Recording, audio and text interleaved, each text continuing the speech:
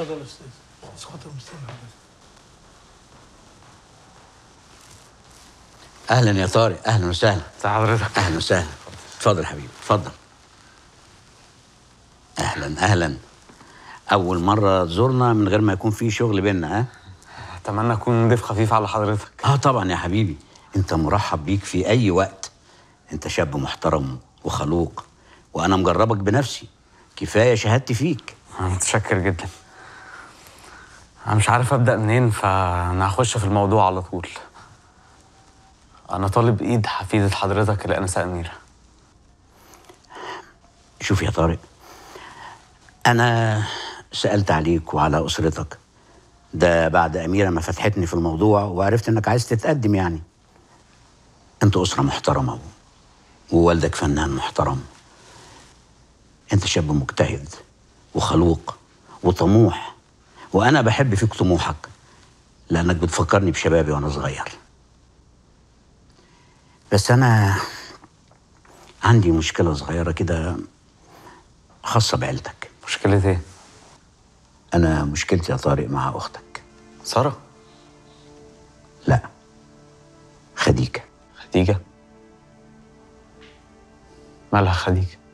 الحقيقة طارق سألته وعرفت ان عندها توحد. وطبعا المرض مش عيب يعني ده مش بإيديها.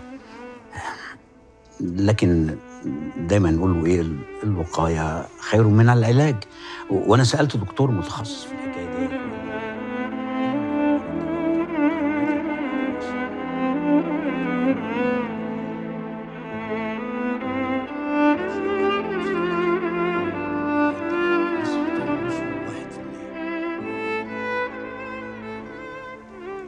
وارد إن أي حد يخلف و ويبقى عن... أولادهم عندهم مرض.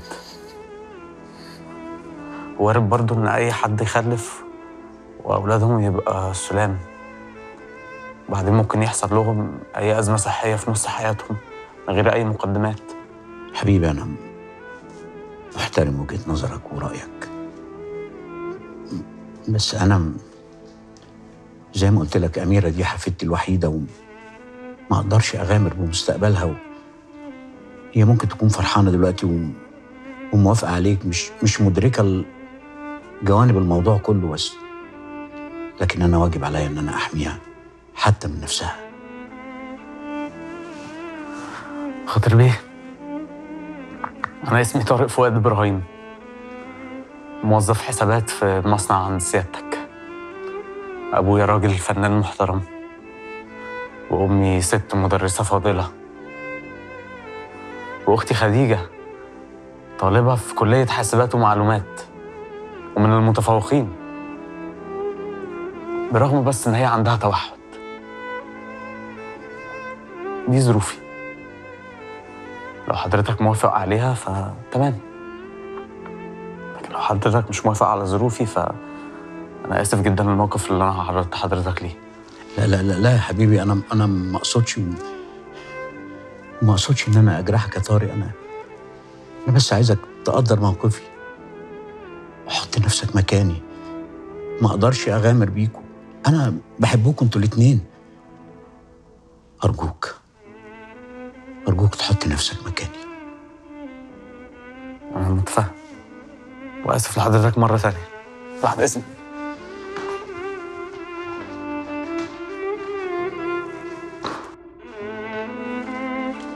أنا آسفة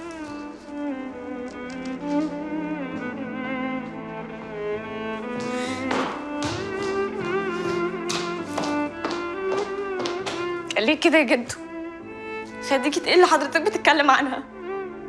خديجة دي أحسن واحدة في الدنيا. حبيبتي أنا خايف عليكي. انت ما بتعرفش حاجة.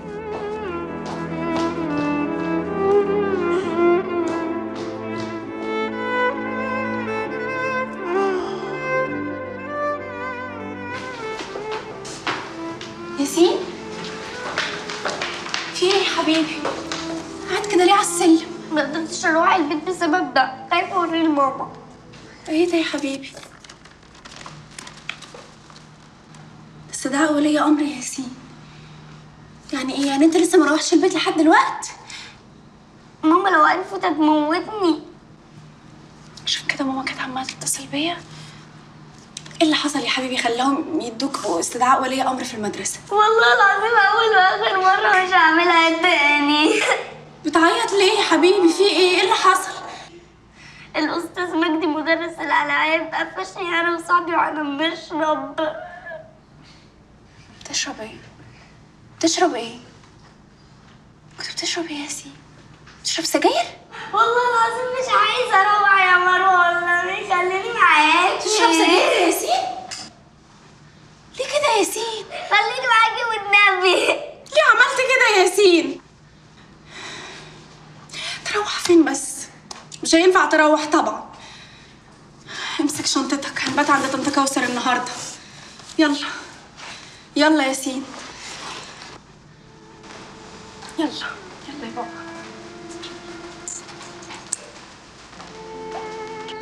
طب يا حبيبي مش هو كان موافق من الأول هو والبنت؟ إيه بس اللي جد؟ اللي جد إنه عارف عن موضوع خديجة. وراح سأل الدكتور قال له إنه مرض وراثي وممكن يتنقل للأولاد. طب هو دخل في علم الغيب يعني؟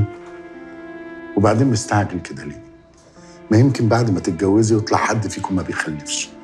ولا تخلفوا عيل سليم وبعدين بعد الشر يموت ولا يعي إيه يا فؤاد اللي بتقوله ده بعد الشر؟ في إيه يا ناهد ويا خديجة مالها ناقصة ايد ولا رجل؟ على فكرة يا بابا أنا قلت له الكلام ده بالظبط. وقلت له دي عيلتي ودي ظروفي. طب يا حبيبي لما أنت قلت له كده رفض خالص يعني؟ ما أعرفش بقى. خلاص هو لو عايز يرفض يرفض براحته. هو عم خاطر جد أميرة رفضك بسببي؟ لا يا ديجا.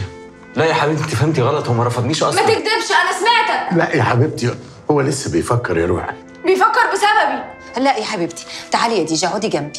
مش عايزة أقعد. داخل اوضتي والعمل يا فؤاد؟ العمل عمل ربنا هنا منار؟ خير يا سارة. في إيه؟ أنا مش جاية أتكلم معاكي عن حاتم. حاتم بالنسبة لي صفحة سودا بحاول أنساها. أمال في إيه بقى؟ مش دي عربيتك؟ يا بجحتك. وكمان متصورة في عربيتي. هو أنا كنت أعرف إنها عربيتك؟ المهم دلوقتي عرفتي مين اللي سرقها. طب ممكن تبعتيلي الفيديو ده؟ أكيد.